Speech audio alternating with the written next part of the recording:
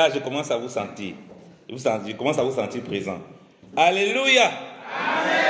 Que le nom du Seigneur soit glorifié. Lui qui nous permet encore de nous réunir ce matin. J'aimerais nous inviter à prier. À prier pour remettre ces moments entre vraiment les mains du Seigneur. Que le Seigneur nous conduise dans sa parole, qui nous inspire encore, qui nous donne encore de, l'écouter et d'être attentif à ce qu'il a à nous dire, à ce qu'il a à nous donner de manger paisiblement en lui, tranquillement. Prions. Seigneur, nous te rendons grâce au Père. C'est une joie merveilleuse au Père de se réunir autour de ta parole, d'être assis à ta table pour manger ton bon pain. Seigneur, nous ne voulons pas être distraits. Nous voulons écouter, Seigneur, non pas simplement avec nos oreilles, mais avec notre cœur. Nous voulons, Seigneur, oh Seigneur, parler non pas simplement avec notre bouche, mais avec notre cœur. Nous voulons, Seigneur, être présents, Seigneur de gloire, non pas simplement au Dieu, physiquement au Père, mais spirituellement au Père, afin, au Dieu, de te comprendre, de marcher dans ce que tu veux et d'accomplir ce que tu veux, Père, au nom de Jésus.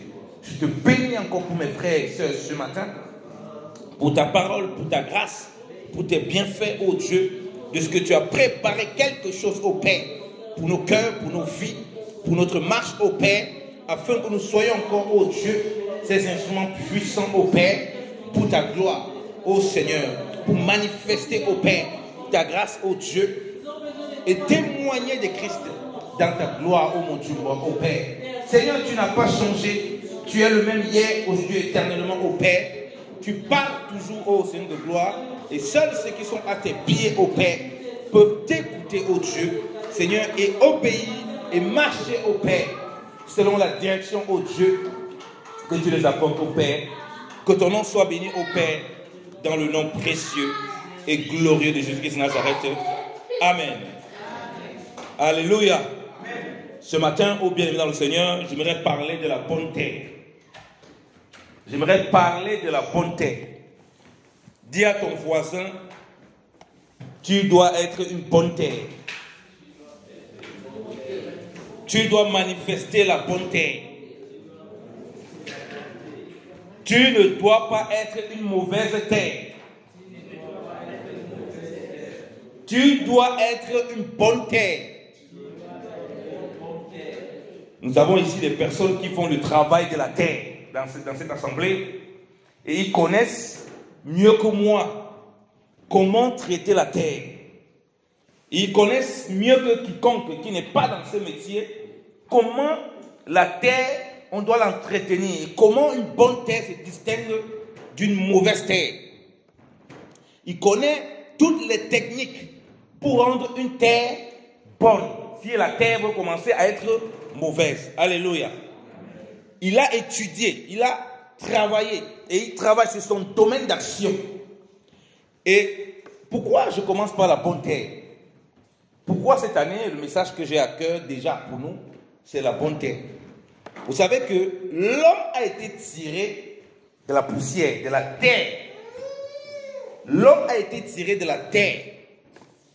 Donc, la terre, comme nous sommes conçus là, Dieu dit qu'on vient de la terre. Ça veut dire que si on vient de la terre et qu'on doit être des instruments du Seigneur, on doit être une bonne terre. Alléluia. Je reprends encore. J'ai dit que l'homme a été tiré de la terre. Vous et moi, nous sommes tirés de la terre.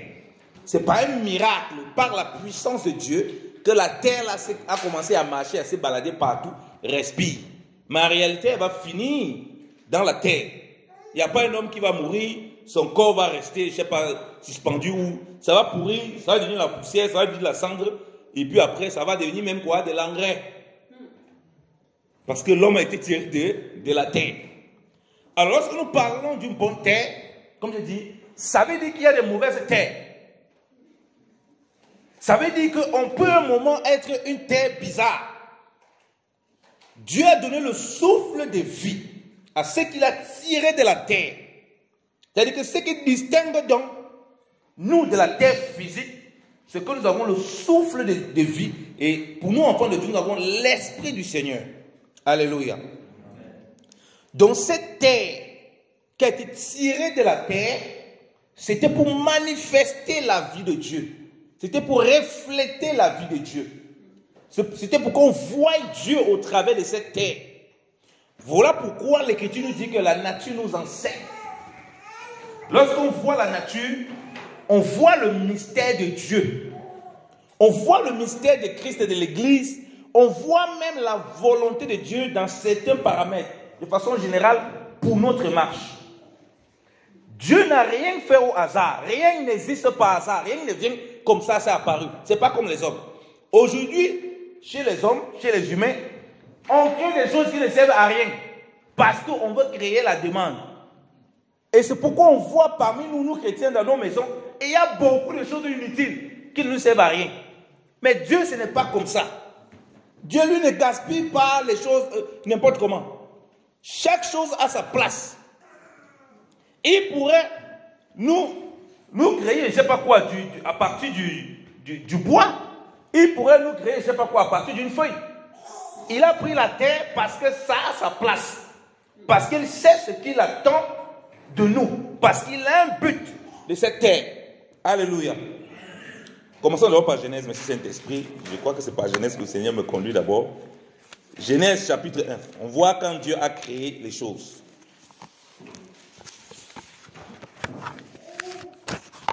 Genèse chapitre 1.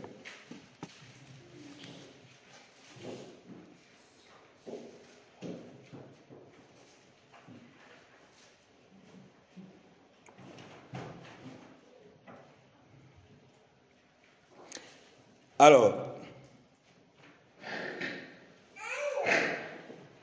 on va aller à partir du verset. Euh, du verset 6. Dieu dit qu'il y ait une étendue entre les eaux et qu'elle sépare les eaux d'avec les eaux. Et Dieu fit l'étendue et il sépara les eaux qui sont en dessous de l'étendue d'avec les eaux qui sont au-dessus de l'étendue. Et cela fut ainsi. Et Dieu appela l'étendue ciel. Ainsi, il eut un soir, eut un matin, ce fut le second jour. On continue.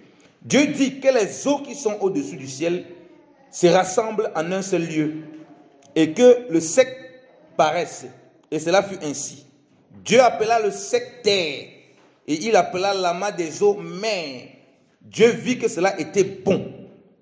Puis Dieu dit que la terre produise de la verdure, de l'herbe portant de la semence, des arbres fruitiers donnant du fruit selon leur espèce, ayant en eux-mêmes leur semence sur la terre. Et cela fut ainsi. La terre produisit de la verdure, de l'herbe portant de la semence, de la semence selon son espèce, et des arbres donnant du fruit, et ayant en eux leur semence selon leurs espèces, et Dieu vit que cela était bon. Ainsi, eut un soir, eut un matin, ce fut le troisième jour.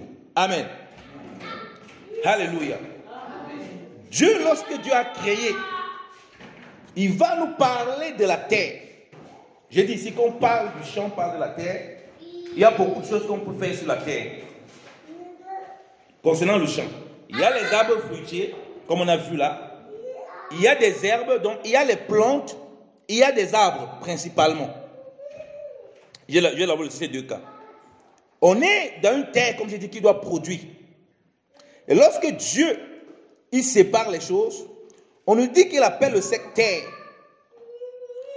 Et vous savez que même la planète, elle est faite elle est faite principalement d'eau. Donc il y a beaucoup plus d'eau. Hein, voilà pourquoi dit souvent que l'eau c'est la vie. Et il y a la terre. Et vous savez que quand on plante des choses, elles doivent prendre racine vraiment dans la terre pour tirer les substances euh, tout au fond de la terre. Tout, tout ce dont elle a besoin doit venir profondément du fond de la terre. En d'autres termes, si la terre n'est pas riche avec tous les éléments dont elle a besoin, alors ça sera, il y aura de la peine pour cette plante de germer. Et, et cette terre a aussi besoin d'eau. Cette semence qui est plantée sur cette terre a besoin d'eau. Ok? Vous voyez pourquoi il y a déjà la terre et les eaux. On continue parce que c'est une fois qu'il y a les deux que Dieu maintenant proclame. Il dit, et Dieu au verset 11, que la terre produise de la verdure. Il y a déjà l'eau. Il faut maintenant la parole des semences pour, pour qu'il y ait la vie. Ok? L'eau et la terre. Donc la terre là doit produire de la verdure, euh, de l'herbe portant de la semence, des arbres fruitiers donnant du fruit selon leur espèce, ayant en leur temps et leur semence sur la terre. Et cela fut ainsi. On pourra parler après euh, des arbres si le Seigneur le permet, mais on reste d'abord sur la bonne terre. Et au verset 12, on dit, la terre produisit. Dès que Dieu a parlé, la terre a obéi et elle a produit ce que Dieu a demandé. Alléluia. Ça veut dire quoi? C'est que Dieu dit, en réalité, sa parole, c'est ça la semence. Alléluia. Je vais, je commence déjà par l'ombre avant de vous amener dans la réalité dans le Nouveau Testament. Ça, c'est l'ombre des biens à venir. Pour commencer à comprendre. Donc, la terre n'a pas résisté à la parole qui est venue du Seigneur pour produire. Tandis que dans la terre, c'est une bonne terre. On peut même aller plus loin. C'est une excellente terre. Parce que dès que la parole est venue, la terre a obéi, la terre a produit ce que Dieu a demandé. Donc, pour revenir à nous, quand je parle de bonne terre, la bonne terre, comme nous on est tiré de la terre, c'est elle qui reçoit la parole de Dieu, la parole de vie. Elle obéit et elle produit ce que Dieu demande. Alléluia. La mauvaise terre, elle reçoit la parole et elle commence à bagarrer avec la parole. Elle commence à bagarrer. Pourquoi? Pourquoi il doit produire les fruits? Pourquoi? Pourquoi il doit produire ça? Pourquoi il doit produire ces semences Pourquoi Dieu dit comme ça? Pourquoi? Pourquoi?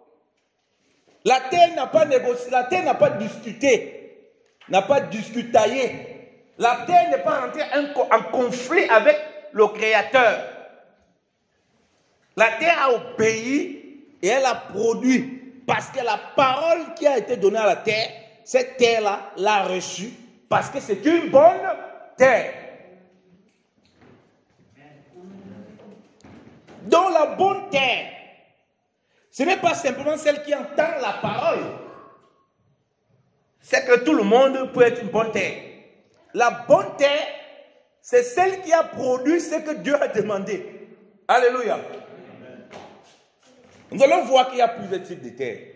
En commençant par la première figure de la terre, puisque c'est de Christ qu'il s'agit. Christ est le modèle, l'exemple parfait. Il est la véritable bonne terre. Alléluia. Il dit que, dans le chapitre 10, tu n'as voulu ni, au, ni ni holocauste, tu m'as formé un corps pour que je vienne faire, oh Dieu, ta volonté. Il est la parole qui s'est faite chair. Donc il a pris un corps de la terre que nous sommes. Donc il est la bonne terre qui a enveloppé la parole de vie, puisque lui-même la parole.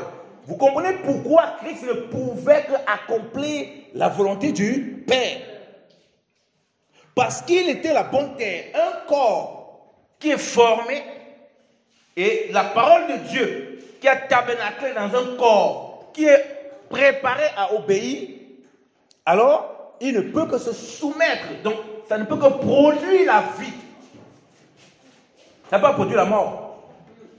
Ça ne peut que produire des arbres et des fruits. Parce qu'il est cette terre. Donc, premièrement, il s'agit de Christ, parce que c'est lui le modèle. Et c'est lui qu'on voit. Quand il reçoit, il ne discute pas. Il dit, à Gethsemane, si ce n'est ma volonté, non, Père, éloigne ces coupes. Mais non point ma volonté, mais ta volonté. Vous voyez, la bonne terre, cette terre qu'on voit là, elle s'attend à la volonté du Seigneur. Elle s'attend à ce que le Seigneur veut. Pas ce que elle-même elle veut. Pas ses propres projets. Pas ses propres programmes. Donc Christ est venu, il est cette bonne terre qui reçoit la parole et qui produit la vie, qui accomplit pleinement la volonté du Seigneur au travers de lui, des fruits, des arbres, des, milliers de personnes. Le champ est rempli. Euh, nous sommes là tous. On peut voir les arbres, les fruits comme euh, la figure de l'Église, ce qui est produit de la terre que Christ était. Au travers de, Christ, nous tous, nous sommes là, nous sommes enfants de Dieu. Alléluia. Donc ça veut dire qu'il a produit, la terre a produit. Christ en tant que terre a produit parce qu'il est venu pour apporter la, la vie. Mais il ne s'arrête pas là. Il nous laisse aussi pour manifester la vie de la terre parce qu'en réalité c'est une figure. Lui, il a pris un corps pour nous montrer l'exemple. Donc c'est à nous maintenant de manifester ce que le Seigneur nous dit. Donc voilà, quand tu lis ça, c'est bien, tu vois qu'il y a la terre, tu vois le champ, tu vois comment on va cultiver le champ. Mais ce matin, Dieu veut que tu comprennes, toi et moi, que c'est d'abord de toi et moi qu'il parle là, pour notre vie. Donc ça nous amener à nous examiner. Lisons maintenant Marc, merci Saint-Esprit, lisons Marc. Je vous ai dit qu'on va maintenant lire dans, dans la réalité comment Christ a parlé. Va t'asseoir, Joachim. Comment Christ a parlé. Marc chapitre, chapitre, chapitre 4. On va lire Marc chapitre 4.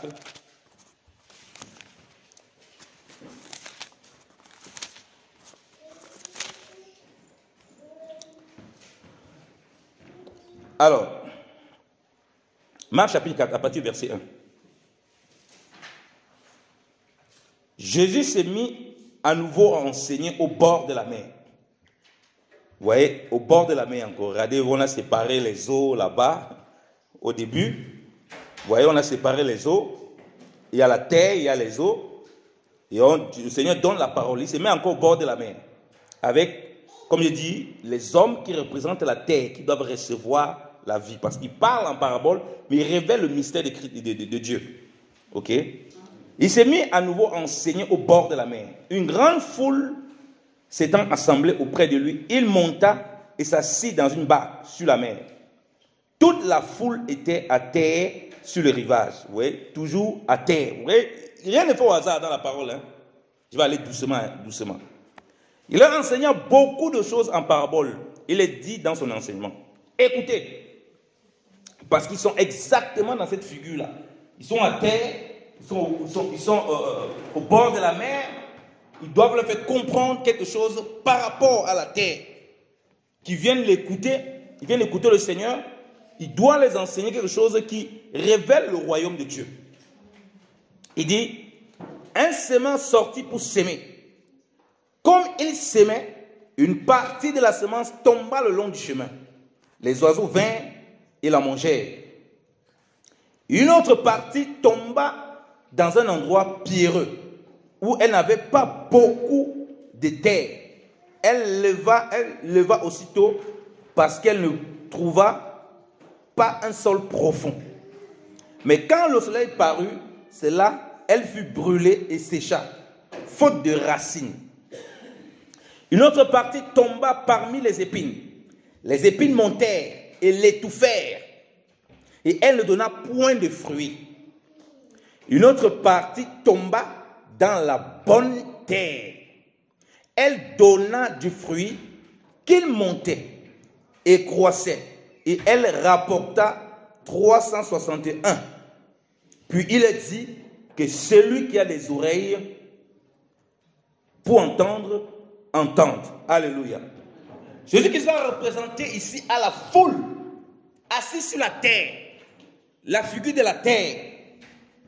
Mais comme eux, ils ne peuvent pas encore comprendre, parce que maintenant, nous, avons le Saint-Esprit pour saisir le langage de Dieu. Il parlait en parabole. Mais nous, ce n'est plus la parabole. Nous devons saisir le message de Dieu. Donc cette foule est assise sur la terre. On les explique les types de terre qu'il y a. On voit que le semence sort pour s'aimer. Il ne fait pas de distinction. Il sème partout. Moi, j'aime vraiment cette parole pour rappeler aux gens que ce n'est pas à nous de définir qui doit recevoir la parole de Dieu ou pas. Ce n'est pas à nous de définir qui est la bonne terre, qui n'est pas la bonne terre. La bonne terre va se manifester elle-même en ayant reçu la parole de Dieu. Alléluia. Il n'y a pas un évangile des Blancs, un évangile des Africains, un évangile des Congolais, un évangile des, Japonais, un évangile de tel ou tel. Ça n'existe pas. On n'a pas défini qui doit être sauvé, qui n'a pas été sauvé. Notre devoir, c'est d'annoncer la parole, de s'aimer partout. Même lorsque tu penses que les gens sont les plus incrédules, Dieu dit qu'il a semé le long du chemin. Comment il peut semer le long du chemin? Donc il sème partout. Nous, nous sommes qui pour refuser de semer Donc vous voyez que Dieu n'a oublié aucun homme. Personne ne pourra dire qu'il n'a pas reçu la parole de vérité, qu'il soit une terre difficile ou pas difficile, il aura reçu la semence. Alléluia. Et il dit que c'est une figure du royaume. C'est une figure euh, euh, du mystère de Dieu. Il a mis quatre terres. Pourquoi maintenant on est obligé d'avoir quatre types? De, de terres Rappelez-vous que l'homme, quand il pêche, il ramène le chamboulement dans la création. On commence à voir Dieu déjà même dans Genèse à partir de Noé. Il est obligé d'effacer tous les hommes à cause de la méchanceté du cœur de l'homme. Mais on a vu qu'au commencement, mais la terre, lorsqu'on a déclaré la terre sur la terre, elle a produit. Ce n'est pas une partie de la terre, c'est la terre. Donc, partout il y avait la terre où il fallait qu'elle produise, elle a produit, elle a obéi au maître. Alléluia. Mais là maintenant, on montre quatre types de terre. Et on explique le problème, ce n'est pas la semence. Le problème, ce n'est pas le semeur. Le problème qui se retrouve ici, c'est la qualité de la terre. Je vous ai dit que le premier niveau que je peux parler, on parle, Dieu dit parler des hommes de façon générale, qui doivent recevoir tous la semence. Ça, c'est le premier niveau qu'on doit comprendre. Pour nous dire que nous, en tant qu'enfants de Dieu, on doit partager la parole. Donc tu ne peux pas y définir, oui, vraiment, celui-ci, de toute façon, il est très hostile à l'évangile. Il ne peut pas croire. Ça, ce n'est pas ta responsabilité. Parce que si lui, le maître, lui, il sème, il te montre par rapport où on sème sur le chemin. Où on sème, où on. En réalité, bon, on n'est pas censé avoir quelque chose de là. Toi et moi, à plus forte raison. Parce que le Seigneur, il sonde les cœurs les reins. Il connaît le cœur de l'homme. Mais toi et moi, on ne connaît pas le cœur de l'homme. Voilà pourquoi en toute occasion, je commence par ce premier niveau, en toute occasion, nous devons toujours apporter la parole. C'est ce que Paul dit à Timothée dans 2 Timothée chapitre 4. Presque en tout temps, favorable ou pas. Parce que maintenant, nous les chrétiens, nous sommes devenus maintenant des condamneurs publics. Des juges blanc. Pour savoir, ah lui là vraiment, il ne faut pas lui prêcher la parole, il ne peut pas recevoir l'évangile. Ce n'est pas ton rôle. Ton rôle au premier niveau, c'est comme le semin nous montre. Tu sors, tu as la semence, sème. Même si tu as l'impression que là-bas, rien ne peut pousser, ce n'est pas à toi de définir ça. Alléluia. Dieu connaît la bonne terre. Parce que parfois même, ce que tu penses que ça ne peut pas produire là, c'est là-bas même que ça va produire. Alléluia. Parce que ce n'est pas toi qui connais la bonne terre. Celui qui va recevoir l'évangile ou pas. Donc je reste dans le cadre ici du partage de la parole, ok? Du témoignage de Jésus, qu'est-ce que nous devons apporter tous les jours Sinon, autrement, on serait comme les pharisiens. Lorsqu'on va arrêter Jésus, il demande qu'on arrête le Seigneur. Ils envoient les soldats. Il dit, mais Nicolas dit mais notre loi condamne-t-il un homme sans l'avoir écouté et savoir ce qu'il a fait C'est dans Jean chapitre 7. Les pharisiens disent, mais mon ami, tu es devenu aussi son disciple. Tu es aussi cru aux bêtises de monsieur là. Il dit que renseigne-toi bien. Il dit que enquête-toi bien, renseigne-toi bien. Tu as vu un prophète qui vient de Galilée Donc ils avaient à définir dans quel pays, dans quel village, dans quelle ville un prophète doit venir. Les gens comme ça, est-ce qu'ils peuvent recevoir la vie? Quelqu'un comme ça, est-ce qu'il peut recevoir la vie? Puisque pour qu'il reçoive l'évangile, il faut qu'il voie qu'il y ait un serviteur de Dieu qui, qui vient dans telle zone, telle zone, telle zone. Et c'est comme ça beaucoup les chrétiens. Si quelqu'un vient des États-Unis, ouh, là, c'est sûr que c'est un grand homme de Dieu. Et c'est comme ça que beaucoup d'imposteurs viennent et séduisent les chrétiens et les, ils les suivent. C'est comme ça qu'il y a beaucoup de charlatans dans l'église. Parce qu'on veut voir d'où il vient. Qui, ce n'est plus la parole, ce n'est plus la semence qui est important, mais c'est maintenant son origine, d'où il vient. Voilà pourquoi je vous ai dit qu'il ne faut pas avoir ce premier niveau dont on parle il ne faut pas avoir des retenues pour témoigner de Christ. Verser partout. Là, c'est le premier niveau que je vais aborder. Deuxième niveau à aborder. On voit que le Seigneur, quand il parle de la parabole du semeur, le semeur là, il prend des risques. Il prend des risques pour pour s'aimer dans, dans plusieurs endroits. Donc, dans votre marche, dans notre marche, il ne faut pas avoir peur de prendre des risques avec le Seigneur. Tout ce que tu vas faire ne va pas forcément produire. Alléluia. Je répète encore, faut pas. L'évangile où dit que tout ce que tu vas faire, ça doit forcément marcher, c'est faux. Tout ce que tu vas faire, d'abord, c'est même la vérité. de toute façon, dans ta marche, ce n'est pas tout ce que tu fais qui, qui réussit. Tu ne peux pas réussir tout. Mais sauf que le Seigneur te montre que si tu gardes la foi, tu persévères, alors tu verras un moment la terre produire. Alléluia. Donc lorsque tu t'engages, tu as la parole de Dieu. Il y a les moments, je prends ici dans l'aspect de l'engagement dans les choses que nous pouvons faire, des projets, des choses que nous pouvons faire, même ça peut être des projets financiers, ou bien des choses qu'on va, on, s'engage. On a la parole de Dieu. On essaie de la mettre en pratique. On ne connaît pas tout. On ne sait pas tout. Voilà comment Dieu nous montre l'investissement. On ne, cherche pas à faire toutes les choses parce que on est sûr que ça va marcher, parce qu'on ne sait pas vraiment le lendemain. Nous marchons par la foi. Donc en marchant par la foi, ayant la parole de Dieu, tu commences une activité ou bien tu diversifies, tes activités, tu vois que ça ne produit pas. Tu sèmes là-bas, tu vois que ça ne produit pas. Tu ne t'arrêtes pas. Alléluia. Il a semé ici, sur le long du chemin, il voit que ça ne donne pas. Il ne s'arrête pas, il ne se décourage pas. Il continue, il part à un autre endroit, il dépose la parole, ça ne marche pas. Il continue, il jusqu'à qu'il arrive à la bonne terre. Alléluia. Voilà un enfant de Dieu qui a reçu la parole de vie et qui marche par la foi. Donc ta marche et les choses que tu fais des choses que tu es en train d'accomplir, ne t'arrête pas lorsque tu vois déjà que parce que tu as la parole, tu as tout fait, tu as gêné, tu as discerné quelle volonté du Seigneur, mais tu es étonné que ça ne produit pas. Ne t'arrête pas. Ne commence pas à croire qu'il y a des monts, il y a diable, ça n'a rien à voir. Ça n'a rien à voir. Le maître lui-même, il a semé partout, alors que lui il connaît ce qui ne produit pas, ce qui produit.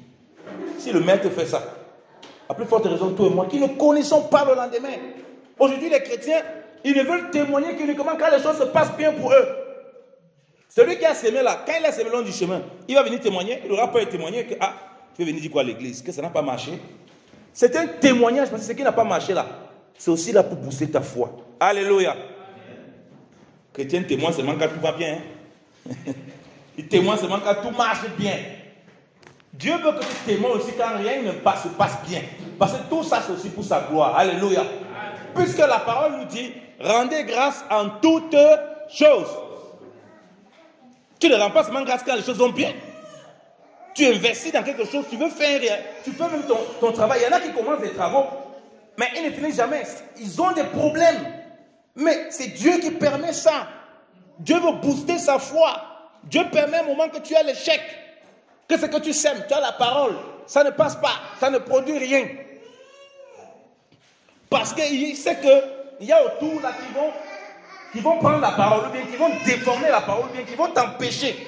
Mais c'est là, ce qu'il attend de toi, c'est de persévérer. Parce que la semence ici est une bonne semence. C'est l'endroit où on sème qui est problématique, comme dans notre marche en tant qu'enfant de Dieu. Nous nous marchons, Dieu ne nous met pas seulement dans les bonnes conditions, parce que la bonne, j'ai dit que je vais vous donner plusieurs euh, parallèles. Dans la bonté ici, où les choses qu'on doit faire doivent produire, ce n'est pas à tout moment. C'est après avoir sémé. Parfois par l'échec, parfois par la douleur, parfois au milieu des gens. Rien ne se passe comme on veut. Mais le plus important de la semence, c'est une bonne semence. Le problème, ce n'est pas au niveau de la semence. Comme toi et moi, nous sommes dans le monde. Mais le monde, les gens dans le monde sont mauvais, sont méchants. Si tu penses que tout ce que tu vas engager dans le monde, parce que tu as la parole de Dieu, ça va forcément réussir, tu te trompes. Puisque Dieu lui-même nous montre cela. Lui-même il engage. Il montre que ça ne produit pas. Mais les chrétiens aujourd'hui, voilà pourquoi beaucoup de chrétiens suivent trop de faux prophètes. Parce qu'il faut qu'on lui donne toujours des paroles pour que tout marche toujours bien. Ce n'est pas vrai. Tout ne peut pas toujours marcher bien dans ta vie. Il y a le moment, tu es comme ça, tu es dans le monde, et même dans l'œuvre de Dieu, tu as la parole de Dieu, tu persévères, mais tu n'as que des combats terribles. Tu as l'impression que tu vas d'échec en échec. Mais sauf que le Seigneur, au travers de ça, il t'observe. Il a investi quelque chose en toi, et il veut voir ça aboutir plus tard à la bonne terre. Alléluia. Il n'a pas commencé par la bonne terre. Alléluia. S'il commence par la bonté, il s'arrête. Il se décourage. C'est fini. Le jour où le problème vient, il abandonne. C'est pourquoi aujourd'hui, en Europe principalement, les gens dépriment, les gens se suicident. Parce que les gens s'habituent à ne pas avoir de difficultés. On essaye de retirer des difficultés dans la marche des gens. Or, comme il dit, c'est la bonne tête qui doit produire ça. Quand tu as une bonne tête, tu as compris ça. Je suis en quelque chose dans les dans sens parce que c'est important pour notre marche. On, on essaie d'ôter toutes les difficultés dans la vie de la personne. Ça veut dire quoi? Tout le réussit à tout moment. Dès qu'il y a un petit obstacle, qu'est-ce qu'il fait? Il déprime. Il commence à prendre des antidépresseurs. Il commence à fumer la drogue, prendre des trucs. Il finit par, comme la plupart on voit ici, un pays extrêmement riche comme la Suisse, s'est suicidé. En Afrique, la vie est tellement difficile. Quelqu'un se suicide, c'est une malédiction. Comment un homme peut se suicider? Il ne comprend pas ça. Quelqu'un va aller se suicider, mais c'est incompréhensible. Pourquoi? Parce que les gens ont appris à vivre dans la difficulté. Donc, il part, il donne la semence. Tu veux faire des projets tu veux dans ta marche, tu fais des projets, tu, fais des choses. Tu as la semence, tu as la parole de Dieu. Dieu te montre, tu as la parole. Oui. Ça, c'est la figure, comme dit, de la marche pratique. Tu as la parole. Mais il commence à avoir pas de difficulté.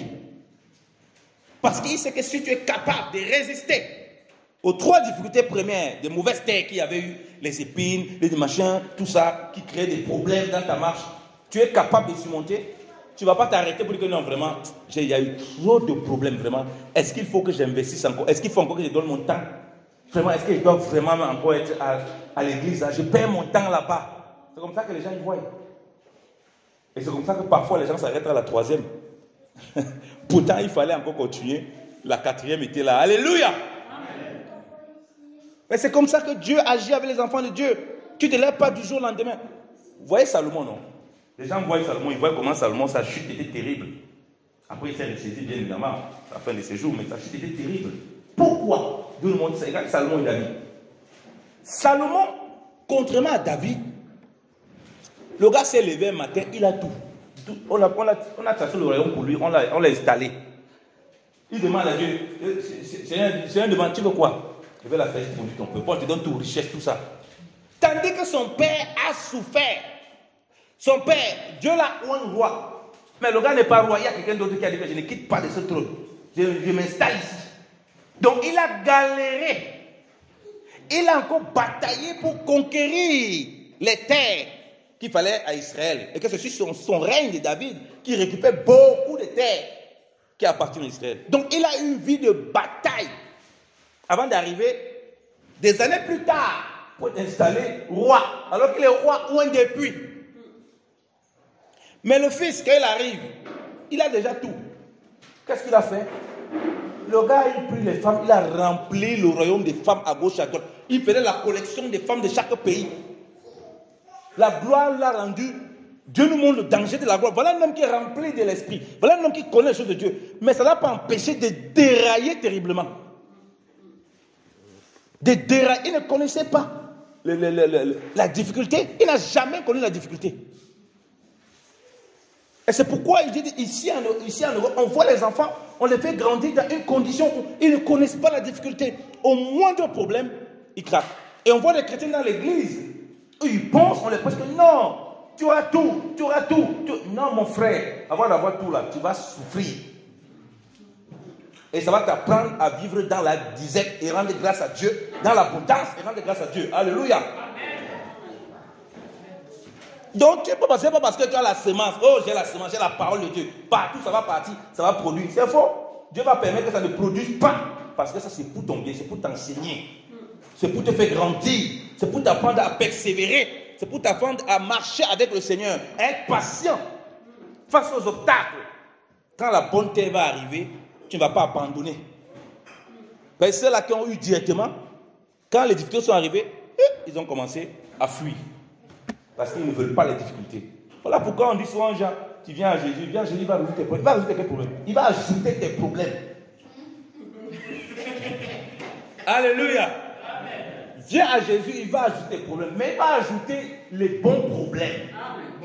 Les problèmes qui vont qui va t'ajouter. c'est pour que ça résout en réalité tous les problèmes que tu as. Alléluia. Ces calculs, ce n'est pas nos calculs. Nous, on veut faire les calculs comme les, les, les, les hommes. Je suis venu à l'église, j'ai donné, donné 10 francs, il faut que Dieu me donne 20. Eh, tu vas jouer le tour là-bas si tu veux ça. Tu vas venir faire ça avec Christ. Tu vas donner le rien. Parce que c'est lui qui sait quand il va te rembourser, quand il va te multiplier. Si tu viens avec ce genre de pensée, mais après tu vas abandonner, dire que je ne viens plus ici. Et si on te fait arriver à l'église en te faisant, en te faisant croire ça, on, t'a perdu. Puisque tu ne vas jamais accomplir ce qu'on vient de voir. Tu ne vas jamais arriver au niveau de la bonne tête. C'est-à-dire que tu as persévéré et tu as sémé. Puisque vous et moi, comme je dis, le problème c'est que nous, on ne connaît pas. Qu'on marche par la foi. Qui parmi nous peut dire en réalité ce qui va se passer dans deux heures de temps?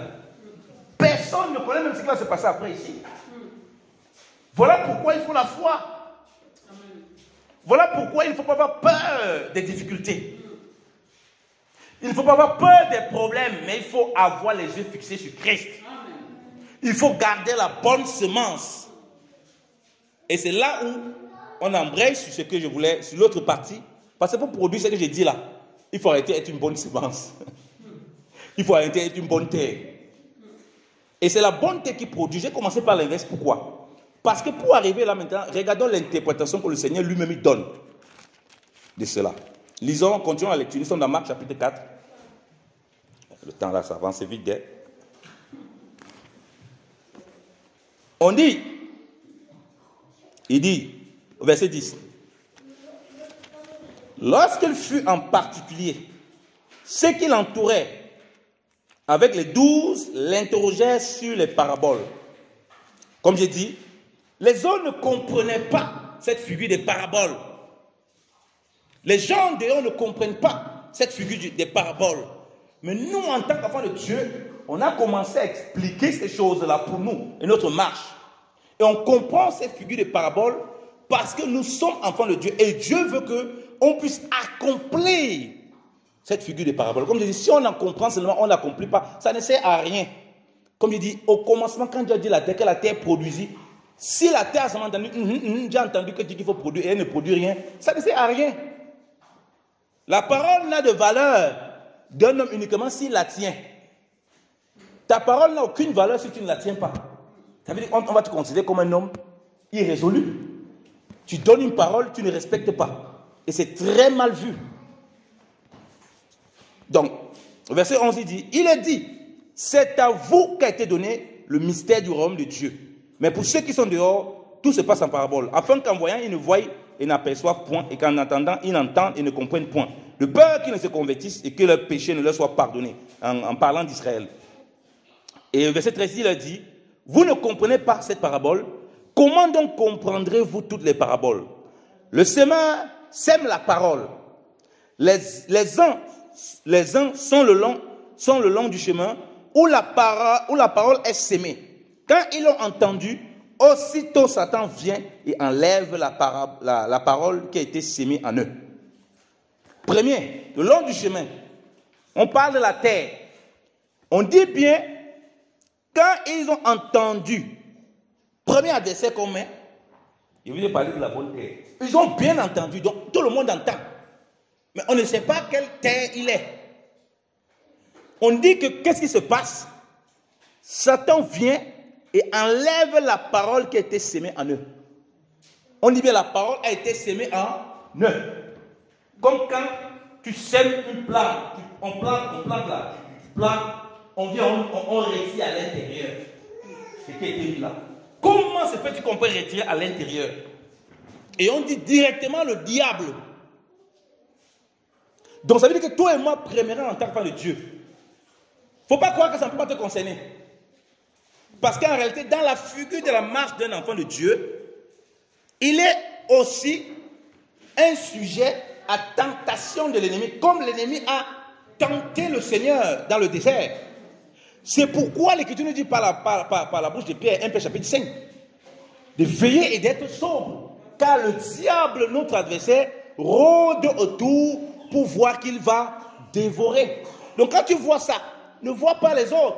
Vois-toi ici comme quelqu'un, quand dans ta marche, si tu ne fais pas attention, une parole que tu vas recevoir du Seigneur, quelque chose que tu vas recevoir du Seigneur, peut devenir infructueux parce que Satan est venu, il a enlevé. Il a enlevé. Tu es censé être la parole, euh, une bonne terre, mais il a enlevé. Pourquoi? Parce que parfois on se retrouve là-dedans. Parce que dans les quatre figures, me dit, ça c'est les quatre figures, j'ai dit, les quatre figures des hommes, des humains. Là maintenant, je suis rentré dans le champ de l'église. Et à l'église, on voit ça. Il y a l'église de Galates, il y a l'église de Corinthiens. L'église ne marche pas toujours par l'esprit. Et moi, on ne marche pas toujours par l'esprit. Autrement, euh, on, ne on ne commettait jamais aucun péché. Ça nous est arrivé, ça nous arrive de trébucher, de dandiner. Voilà pourquoi on a toujours besoin d'être rempli de l'esprit. Le Seigneur nous fait comprendre ici qu'aussi longtemps qu'on est le long du chemin, on rigole. Le diable, lui, ne rigole pas. Lui ne va pas blaguer avec toi et moi. S'il y a moyen de venir voler la parole, il vole. Et comment il fait ça? Il sait que tu ne veilles pas. Comme 1 Pierre chapitre 5 nous dit. Tu n'es pas sobre. Tu n'as pas les yeux fixés sur le Seigneur. Tu, es, tu commences à être le long du chemin comme tout le monde. Alors, le long du chemin, les gens se baladent là ils ne savent pas où ils vont, ils n'ont pas les directions. Ils sont là, ils, ils, ils mal. C'est-à-dire que la parole n'est pas enracinée en toi.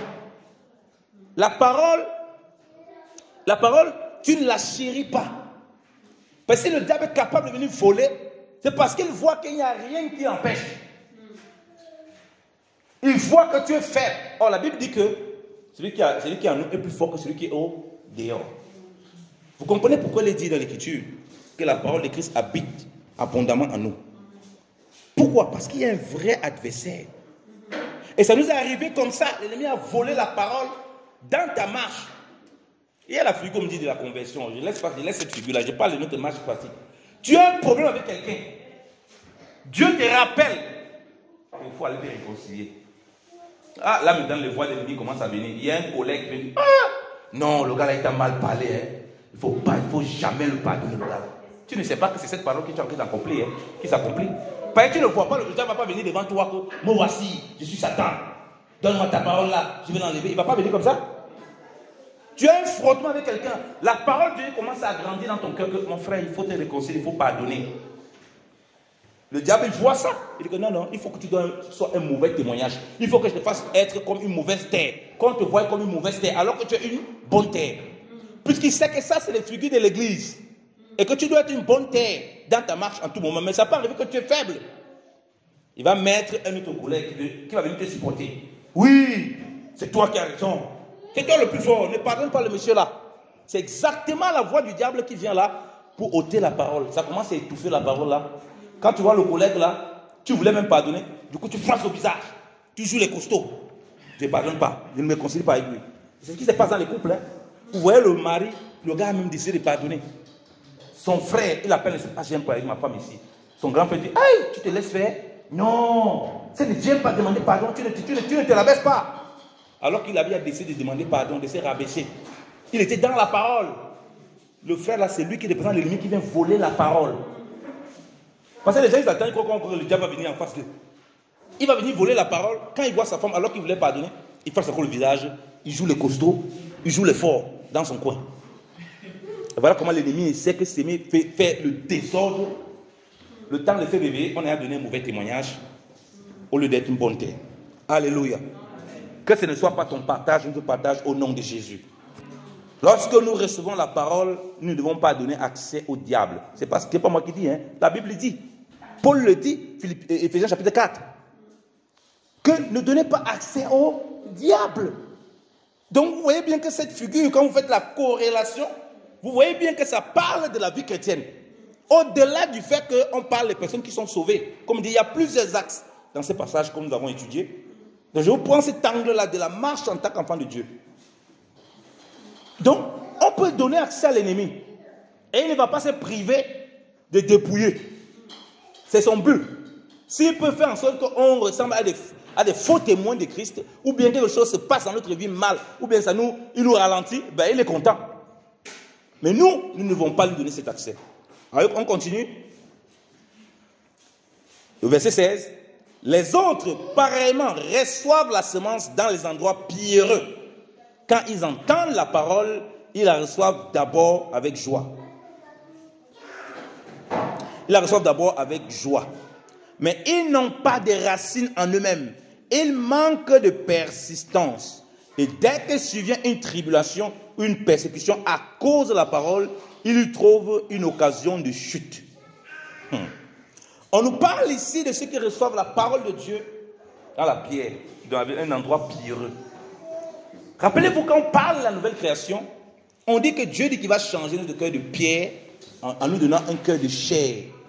C'est-à-dire qu'un cœur qui est soumis à Dieu. Il parle ici d'un cœur qui est pierreux. Un cœur qui, qui n'a pas d'enracinement dans la parole. Je vous, ai pris la figure de celui qui va écouter, il a une situation, une difficulté. Le diable vient facilement enlever parce qu'il laisse ses paroles venir. Ici, le premier niveau, on parle de l'ennemi qui attaque hein, pour nous déstabiliser. Le second niveau aussi, ici, ce n'est pas l'ennemi. Lorsque les enfants d'Israël sont sortis d'Égypte, ils étaient vraiment sortis de l'Égypte. Mais l'Égypte n'était pas sortie en eux. Deuxième niveau dans notre marche, ce n'est pas parce que tu es un enfant de Dieu que ça veut dire que tu ne peux plus avoir un comportement avec, on a l'impression que à la place du cœur, là, c'est la pierre. Et il faut être conscient de cela. C'est-à-dire, chercher à toujours t'enraciner dans la parole du Seigneur. C'est ça qui va faire en sorte que vous et moi ne soyons pas flottants à tout vent de doctrine. Pourquoi les gens, ça devient une occasion de chute Il reçoit la parole, il a la joie. Et la parole de Dieu produit la joie. On est joyeux avec le Seigneur, on marche avec le Seigneur dans notre marche. Mais parfois, quand il n'y a pas l'enracinement, quand la persécution vient, c'est quoi On trouve une occasion. Oh, vraiment, depuis que je suis là même, il y a la persécution. Depuis que je suis là même, vraiment, il y a telle, telle chose. En fait, ça révèle tout simplement qu'on n'est pas enraciné. Comme nous dit l'Écriture, Colossiens chapitre 2, je vais vous lire ça, on revient vite, merci Saint-Esprit. Colossiens chapitre 2. Lisons Colossiens chapitre 2. Colossiens chapitre 2. Bien-aimé dans le Seigneur, je vais nous lire ça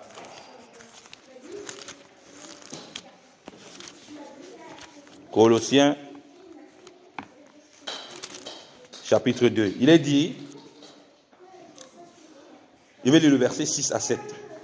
Ainsi donc, comme vous avez reçu le Seigneur Jésus-Christ, marchez en lui, étant enraciné et fondé en lui, et affermi par la foi, d'après les instructions qui vous ont été données, et abondé en action de, grâce. Prenez garde que que personne ne fasse de vous sa proie par la philosophie et par une vaine tromperie, s'appuyant sur la tradition des hommes, sur les rudiments du monde et non sur Christ. On dit, comme vous avez reçu Christ, donc ils ont reçu la parole avec joie. Marchez en lui étant enraciné et fondé. Ça veut dire qu'on peut marcher sans être enraciné. Et c'est un des gros problèmes parmi les chrétiens.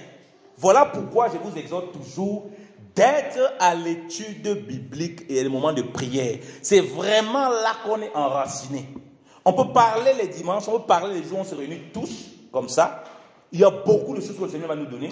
Mais le véritable enracinement, c'est dans le moment de prière et d'étude de la parole d'instruction. Acte chapitre 2 nous dit que ils tous les jours ensemble. Ils, ils, dans la doctrine des apôtres, dans l'enseignement des apôtres. C'est là où tu es vraiment bâti. Pour que tu ne sois pas scandalisé, on revient à Marc, à Marc chapitre 4. Pour que tu ne sois pas scandalisé à cause de la parole de Dieu.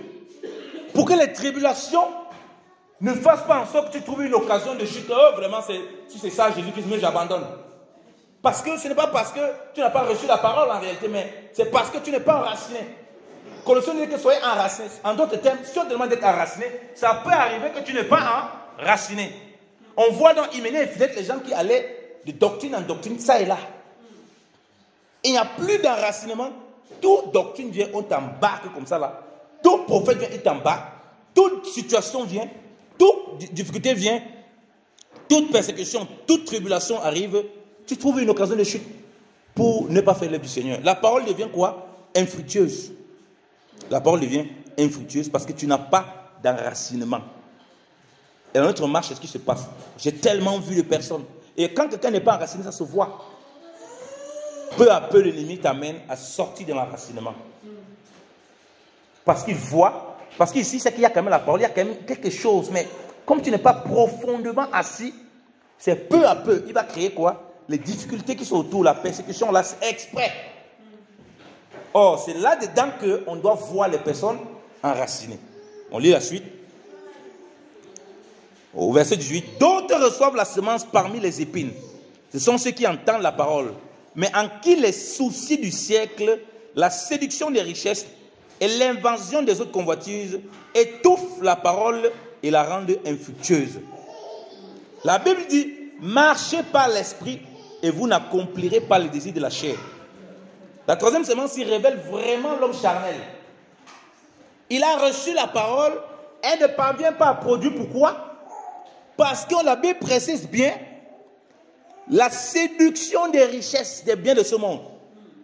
Rappelez-vous que je vous ai dit que dans la parabole, dans, la figure, dans l'autre figure prophétique que j'ai énoncée, c'est que vous, vous et moi, quand on travaille, on s'aime, on utilise la parole de Dieu pour faire ce qu'on a envie de faire, dans tout ce que nous sommes engagés, il y a la difficulté.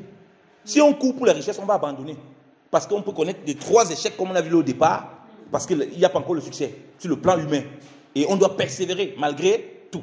Mais ici, on dit que la séduction des richesses, donc ils veulent tellement devenir riches que la parole ne produit plus. Elle devient infructueuse. Et la parole est étouffée. Donc l'ennemi va utiliser tous les stratagèmes. Combien de chrétiens se retrouvent en train de jouer les loteries, des machins pour devenir riches? Combien de chrétiens? Ils jouent toutes sortes de choses et ils sont ruinés. Et un frère qui me disait encore qu'il a un pasteur, il était ruiné. Comme ça. Jusqu'à vendre sa maison. Peut-être a même vendu ses enfants, même avec sa femme. Parce que la séduction des richesses, tellement il a vu les soi-disant hommes de Dieu, les prophètes américains partout par là, comment ils sont riches. Oh, il ne sait pas comment ils vont faire. Il ne sait pas, mais on a tellement inventé des trucs. Il a bu, il est allé dans la loterie, il est allé dans les trucs. Voilà comment ça a détruit le frère, détruit l'assemblée. Bon, voilà pourquoi il faut faire très attention. Tu veux devenir riche par tes propres moyens ou bien tu veux devenir riche en Christ? Tes calculs de richesse que tu fais, est-ce que c'est le calcul de richesse de la bonne terre? Ou bien c'est ta propre intelligence Comme il dit, Salomon, il avait tout ça. Mais regardez comment ça s'est passé. Donc il faut faire très attention. Il y a les épines, les soucis de ce siècle, la convoitise. Et c'est quoi? C'est les œuvres de la chair. Lorsqu'on est dans la convoitise. Tu vis selon la chair, tu ne peux pas accomplir les choses de l'esprit. Tu vas étouffer la parole de Dieu. Donc ne lis plus cette parabole, tu lis, tu crois que ça concerne les autres. De temps en temps, dans ta marche, parfois, toi, tu te retrouves là-dedans, en train de marcher selon la chair, parce que c'est la convoitise, c'est l'amour des richesses qui t'anime en ce moment. Mais Dieu veut ce matin que tu t'arrêtes et que tu regardes à lui. Alléluia. Afin que la parole cesse d'être étouffée. Toi, avant d'arriver à la bonne terre, vous voyez tout le chemin qu'il y a à faire. C'est toute notre marche pour notre croissance. Nous ne devons pas manquer de persistance, nous ne devons pas avoir peur des tribulations. Donc, en d'autres termes, on voit que l'autre premier, il n'a pas veillé, l'ennemi est venu, il a pris la parole. L'autre, bon, il est scandalisé pour la parole de Dieu. Maintenant, revenons à la bonne terre. La dernière, la bonne terre. Verset 20. D'autres reçoivent la semence dans la bonne terre. Alléluia. Ce sont ceux qui entendent la parole, la reçoivent et portent du fruit 30, 60 et 100 pour un. Alléluia. Alléluia. Regardez la bonne terre. La bonne terre donc traverse toutes les étapes que les autres terres ont traversées. Alléluia. La bonne terre résiste à la tribulation. La bonne terre résiste à la convoitise et l'amour des richesses et les passions de la chair. La bonne terre ne laisse pas l'ennemi venir voler la parole, quelle que soit la situation qu'elle est, elle ne veut pas laisser l'ennemi s'installer. Et c'est dans cette persévérance, donc, parce que la bonne terre, elle va vivre tout ce que les autres vivent. Puisqu'elle est soumise au même problème. Toi et moi, on est soumis tous à la persécution. Toi et moi, on est soumis tous à la tribulation à cause du nom de Jésus. Toi et moi, on est soumis tous à la convoitise. Et à la convoitise, tout le monde veut se faire l'argent, tout le monde veut prendre ceci. Donc, les œuvres de la chaîne, tous on est là. C'est là. Mais qu'est-ce qui va nous distinguer? C'est qu'on va désirer vivre pleinement la parole du Seigneur. Et ça, cette bonne terre-là, pour conclure, c'est la maturité. Alléluia. Quand tu deviens la terre, on la travaille pour qu'elle soit mûre. C'est pourquoi il dit que soit une bonne terre. Rentre dans la bonne terre. Traverse ces étapes. Ne laisse pas l'ennemi venir s'emparer de la parole. Prends le temps dans la parole et dans la prière. Prends le temps dans la persévérance face aux persécutions. Tu vas manifester cette bonne terre. Et le Seigneur a dit, c'est inévitable, elle produit du fruit. Alléluia. Elle va entendre la parole, elle va la mettre en pratique. Ça ne veut pas dire qu'il n'y aura pas de difficultés. Il y aura des difficultés. Mais entre les deux, ce qui va distinguer les autres, c'est l'obéissance, c'est la persévérance, c'est la pratique de la parole. Et on pourra donc accomplir ce qu'on a lu dans Genèse chapitre 1. Dieu dit à la terre, produit. Et la terre a produit. Que le nom du Seigneur soit béni. Amen.